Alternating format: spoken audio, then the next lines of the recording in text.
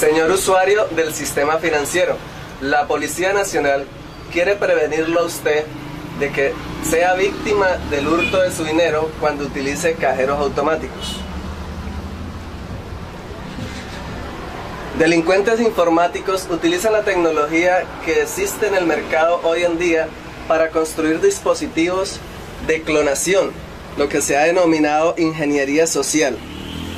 Como vemos este cubre teclado falso, el cual es construido con teléfonos celulares, baterías de larga duración, memorias USB y microcámaras, con el único fin de grabar su clave al momento de digitarla a través de este agujero. Los delincuentes informáticos retiran el cubre teclado original y mediante cinta doble faz pegan el cubre teclado falso.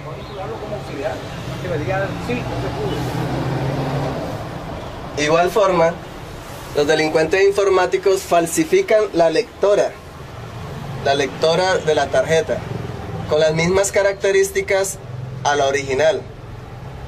También con tecnología, memorias USB y baterías de larga duración. La instalan sobre la lectora original con cinta doble faz. Entonces el usuario al momento de realizar la transacción inserta su tarjeta y el dispositivo falso captura toda la información que posee la banda magnética. Posteriormente, al momento de digitarla, la, microcámara que posee este dispositivo va a filmar las teclas que usted oprima, o sea, su clave.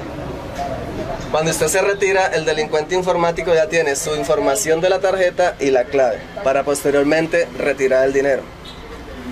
Por eso, señor usuario del sistema financiero, en esta temporada navideña tenga en cuenta, ninguna entrada a cajero electrónico tiene dispositivos de lector de tarjeta.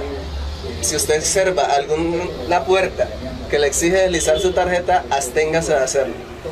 Una vez en el interior del cajero, revise el cajero y mueva todas las partes.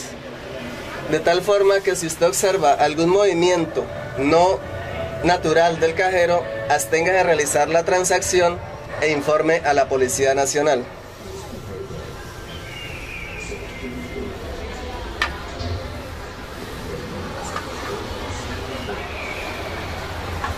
Tenga en cuenta estas recomendaciones y evite que le hurten su dinero durante la temporada navideña.